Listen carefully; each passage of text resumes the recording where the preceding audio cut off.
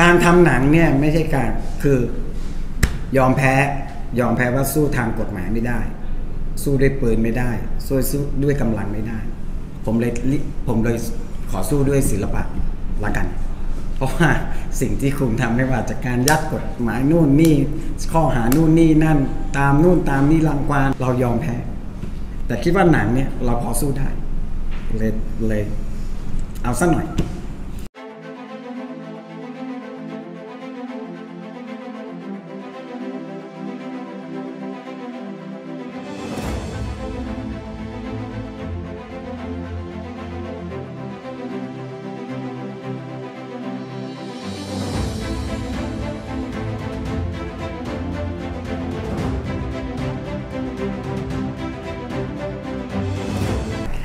คือ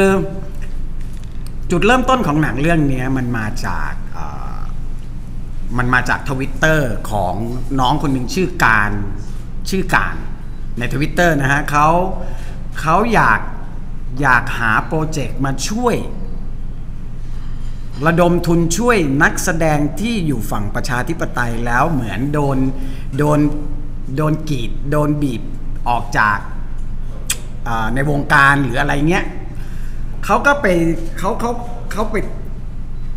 แล้วเขาเลือกนักแสดงอยู่สี่คนก็คือมีอ่ามีมีแอมมี่ มีทราย มีใครอีกนะสี่คนอะอ๋อมาริยาแล้วก็กรเอ้เพชรเพชรเพชรกรุณสี่คน น้องเขาเลือกนักแสดงมาสี่คนแล้วเขาขอให้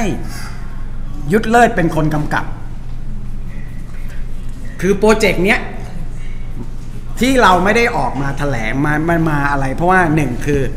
ไอเดียของการเอานักแสดงกลุ่มนี้มาตั้งต้นเนี่ยมันไม่ใช่ของพี่ ไอเดียนี้มาจากน้องคนหนึ่งในทวิตเตอร์เท่านั้น แล้วพี่เนี่ยก็อาสาที่พี่ก็ลองลองทวิตดูว่า เอ้ยใครสนใจมั่ง ถ้าทวิตถึงหมื่นรีทวิตถึงหมื่นเดี๋ยวจะมาสารต่อ เราก็จะมาพอมันรีทวิตถึงถึงหมื่นเนี่ยเราก็มาสารต่อในเรื่อง เริ่มติดต่อ เริ่มวางอ่าใครลองติดต่อจริงได้ไหมตอนที่เขาเลสมาเนี่ยยังไม่ติดต่อแอมมี่เลย เพราะว่ามันไม่ใช่ไอเดียของพี่แอมมี่ยังไม่รู้เรื่องเลย มาริยาก็ไม่รู้เรื่องว่าเอ้ยทำไมมีการออกเงินทำไมมีการเก็บเงินแล้ว โดยที่ไม่มีพล็อตไม่มีอะไรเลย ในทวิตที่มีคนปัญหาคือมีคนเอาภาพเนี้ย ออกไปโพสต์ต่อในเฟซในอะไร เพราะว่าพี่จะไม่โพสต์อย่างอื่นนอกจากอยู่ในทวิตพอไปโพสต์ต่อไปทำอะไรต่อแล้วเนี่ยมันก็เลยเกิดเกิด มีชื่อพี่กลายเป็นเหมือนว่าเป็นคนมีเลขบัญชี บริษัทมีอะไรนี้ก็กลายเป็นแบบว่า มาริยาบอกว่ายังไม่มีใครติดต่อ ก็เราก็ไม่ได้ติดต่อใครจริง ๆ เพราะเรายังไม่ได้ส่งสู่พับลิกเราอยู่ข้างในนั้นแอมมี่เจอแอมมี่แอมมี่ก็ พี่เรื่องเกิดยังไงก็เพราะก็แอมมี่ก็ยังไม่รู้เพราะว่าเราก็ไม่ได้ติดต่อแอมมี่เหมือนกัน เรื่องก็แล้วเกิดคนก็เลยรู้เรื่องจาก อย่างเงี้ยมันก็เกิดเกิดเรื่องขึ้นเลยนะ มีว่า เอ้ยออมีคนกล่าวหาถึงขนาดว่าหลอกลวงประชาชนหรือเปล่า บอกเขาหรือยังบอกเขาหรือยังอะไรเงี้ยแต่เราก็ไม่ได้ได้แก้ข่าว เพราะว่าหนึ่งคือโปรเจกต์การเอานักแสดงกลุ่มนี้มาเล่นเนี่ยมันไม่ใช่ไอเดียของเรา เราก็ไปเริ่มหาจริง ๆจังๆก็เริ่มไปคุยเพิ่งเริ่มมาคุยกับแอมมี่คุยอะไรน้องมานี่แหละทีหลัง เรื่องมันก็เลย แต่ก็ยังไม่ได้เอ่อเขาเรียกอะไรนะ ออกแถลงข่าวจริง ๆ จังๆเพราะเราก็ไม่รู้เหมือนกันว่า เรื่องก็ยังไม่รู้อย่างนั้นเราเป็นการเขาเรียกว่าโยนหินถามทางว่า นี่มันไม่ใช่การทำหนัง แต่เรากำลังจะต่อสู้กับอำนาจอีกอำนาจหนึ่งโดยใช้ภาพยนตร์ คือจะช่วย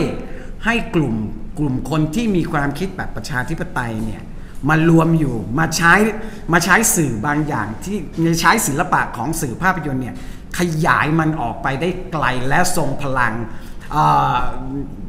อีกแบบหนึ่งพี่พี่เชื่อว่าในเรื่องของภาพยนตร์เนี่ยมันจะช่วยให้การขับเคลื่อนความคิดขับขับเคลื่อนอะไรเปลี่ยนแปลงอะไรบางอย่างเนี่ย ในฐานะพี่เป็นคนทำหนังพี่เชื่อว่าภาพยนตร์มันทรงพลังของมัน และและอีกอันหนึงคือมันไม่ได้ใช้ความรุนแรง ไม่ได้ใช้คนมากมาย ไม่ได้ใช้อะไรแบบนี้ มันก็เลยเป็นแบบนี้ ไม่กังวลเพราะว่าหนึ่งตอนนี้คือ สิ่งที่เราต้องการคือเงินในการทำหนังแน่นอน เราถึงพุ่งไปที่เงินก่อน แต่เงินที่เราต้องการเท่าไหร่รู้ไหมร้อยบาทร้อยเดียว พี่ต้องการเงินแค่ร้อยเดียวจากคนล้านคน ที่ไม่กังวลว่า พี่ถามว่าโดยศักยภาพของพี่เดินไปขอเงินคนร้อยบาทเนี่ยเฮ้ยผมจะทำหนังร้อยล้านให้คุณผมพี่เชื่อว่าเขาให้ โดยไม่ต้องบอกเรื่องโดยไม่ต้องบอกอะไรเลยเขาให้ แต่เขาจะสงสัยว่ามันทำได้จริงเดี๋ยวร้อยล้าน ไอ้ตรงนั้นน่ะไม่ใช่เรื่องโอนแต่เป็นสิ่งที่ต้องใช้เวลา การพูดแบบเนี้ยล้านครั้งมันเทคไทม์แต่ เรามองว่า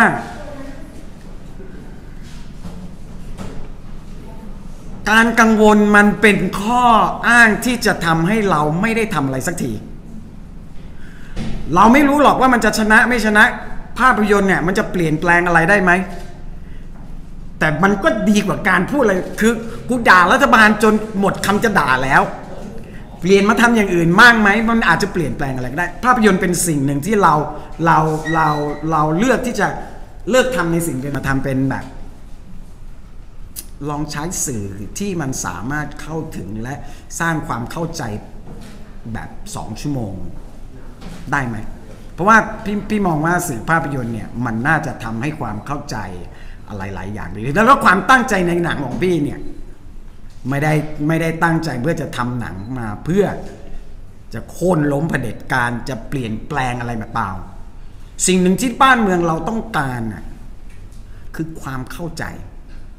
ในกันและกันคือทั้งฝั่งนู้นและฝั่งเรา ความเห็นอกเห็นใจกันตรงเนี้ย ความเคลียร์กันตรงเนี้ย เพราะสุดท้ายเราก็ต้องอยู่ด้วยกันอยู่ดี ถึงเราไม่ได้อยู่ด้วยกัน ญาติพี่น้องเราต้องโคกันอยู่ดี มัน มันอาจจะเป็นตัวเลือกหนึ่งซึ่ง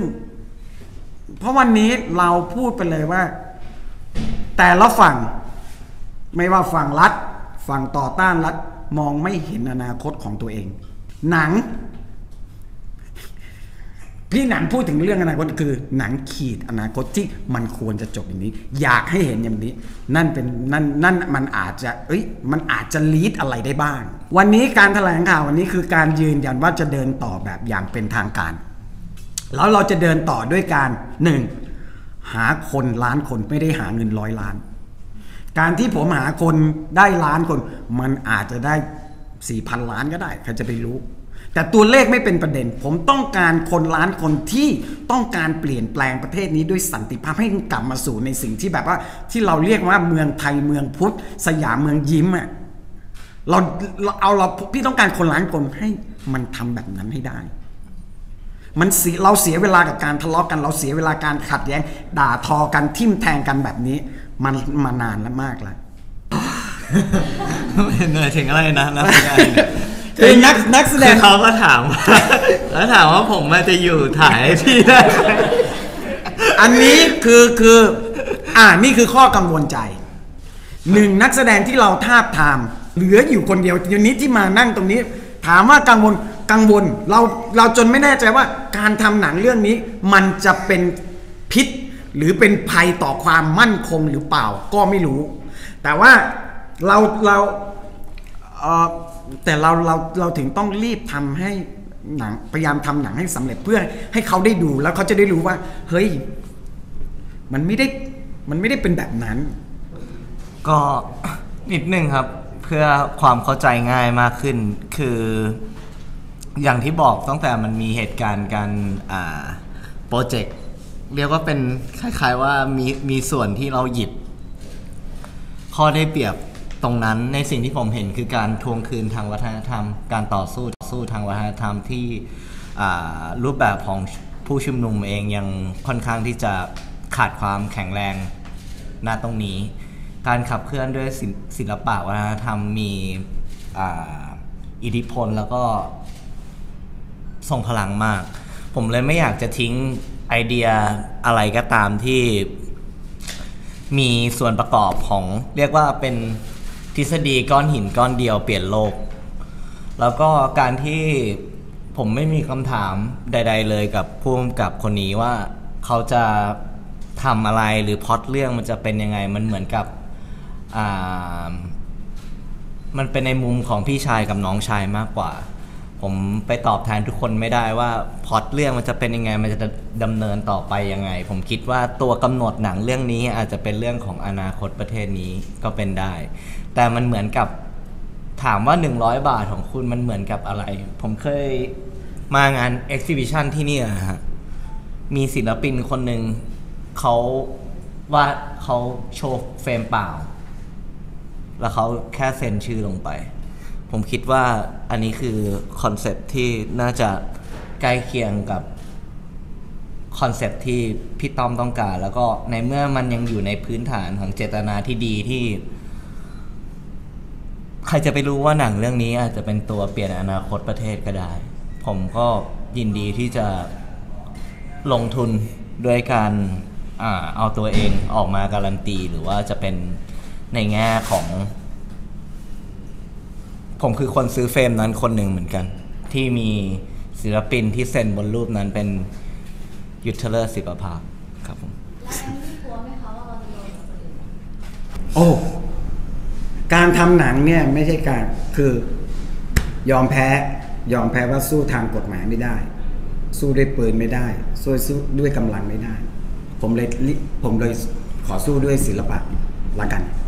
เพ ราะว่าสิ่งที่คุณทำไม่ว่าจากการยัดกฎหมายนู่นนี่ ข้อหานู่นนี่นั่น ตามนู่นตามนี่รังควานเรายอมแพ้ แต่คิดว่าหนังเนี่ยเราพอสู้ได้เลยเลยเอาสักหน่อย เขามีเท่าไหร่สามร้อยล้านก็มีสามร้อยล้านนะแหมอยากรู้ที่มีใครเป็นผู้กำกับ